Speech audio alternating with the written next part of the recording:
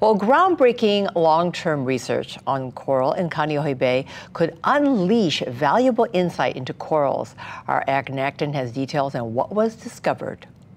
Facing rising challenges, including global warming, it's widely believed coral reefs keep life on Earth, our oceans, and our planet healthy. They provide food and habitat for about 25% of the world's fishes. They also can help buffer shorelines against 97% of the energy from waves, storms, and floods, helping prevent loss of life, property damage, and erosion, a growing problem in the state of Hawaii.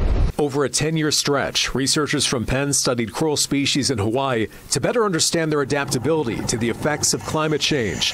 The study largely focused on bleaching, which occurs when corals are stressed by changes in conditions, including temperature and light one species of coral, Porites uh, compressa, which is the finger coral here in Hawaii. Uh, that coral uh, showed an adaptation, I guess, to the heat stress that it had experienced. So Hawaii now has experienced three major back-to-back bleaching events. The first one in 2014, the second one in 2015, and again in 2019. And so what we found during the third bleaching event uh, to hit these corals was that the corals had somehow acclimatized to the heat stress and were not showing the same bleaching phenotype.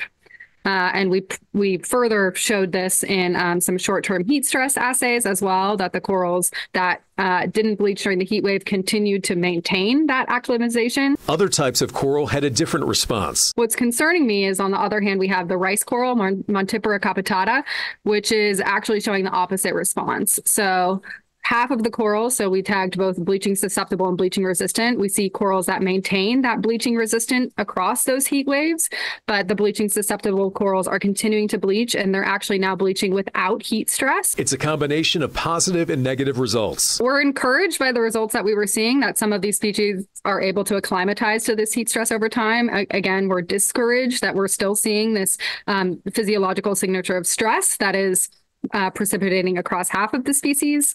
Uh, what this means for the reefs here in Hawaii is that our reefs are actually, um, we're seeing these gaping holes where their corals used to be. So these heat stress events are, are creating mortality of the coral species. Obviously, we know that people rely really heavily on these reefs for fisheries, coastal protection, that kind of thing. The research study is largely considered a victory. The study is really great because it shows that some species of corals do have the ability to recover, and we can understand from that particular species. So in, in this case, it's the finger coral. That's okay.